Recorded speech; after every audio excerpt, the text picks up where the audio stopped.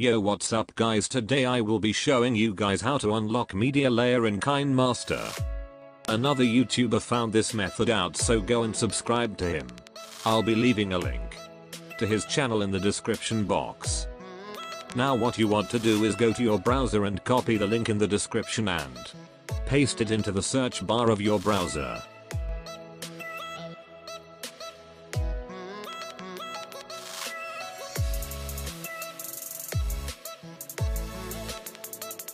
Click the download button.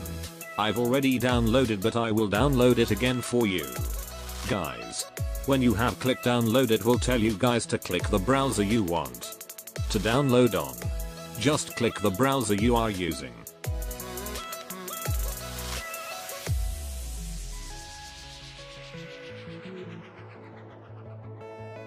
Now that the download is finished click on install and then wait for it to install. It will take about 10 seconds so don't worry.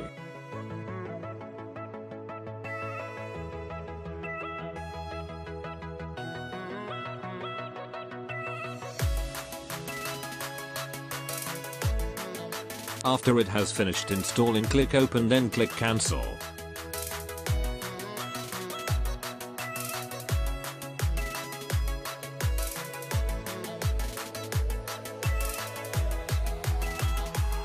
Now click on the big red button then click empty project.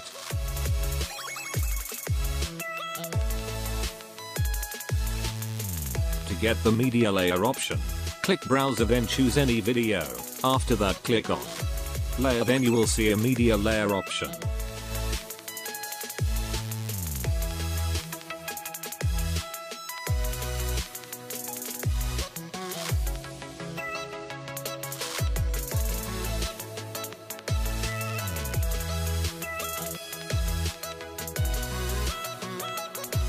I hope you guys enjoyed this video don't forget to like, subscribe and comment. It has been your host Jayesh and I'm signing out.